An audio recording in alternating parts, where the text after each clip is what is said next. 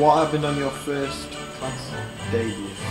Um, so wasn't the best. I, I obviously uh, I got a pair. Uh, first innings, I was batting with the now coach uh, Ant Botha.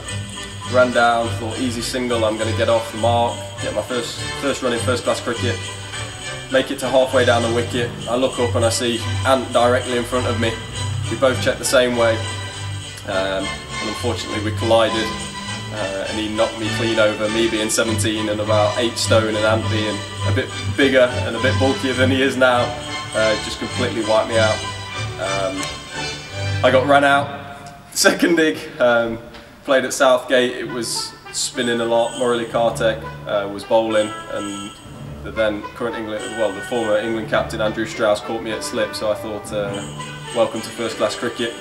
Um, but we won the game so uh, it was a great sort of experience.